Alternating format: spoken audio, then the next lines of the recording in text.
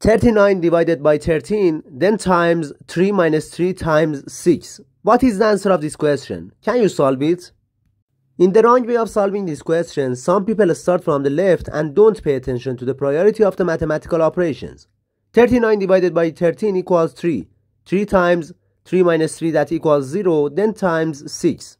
0 times 6 equals 0 and 3 times 0 equals 0. But this answer is definitely wrong.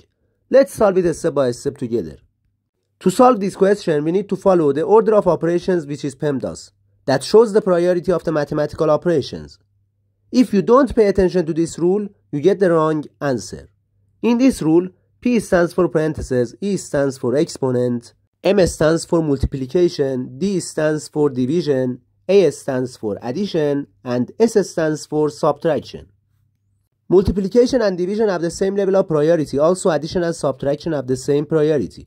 When we have both, we start from the left and simplify the question. According to this rule, first we simplify the parentheses. We have 39 divided by 13 and in the parentheses we have subtraction and multiplication. First we do multiplication because the multiplication has higher priority than subtraction. We have 3 minus 18. Again we simplify the parentheses. 3 minus 18 equals negative 15. Now the question is 39 divided by 13 then times negative 15.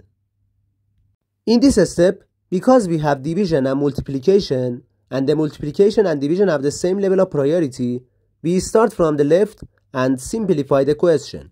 39 divided by 13 equals 3, and 3 times negative 15 equals negative 45. The final answer of this question equals negative 45. To see more math videos, subscribe to the channel. Goodbye.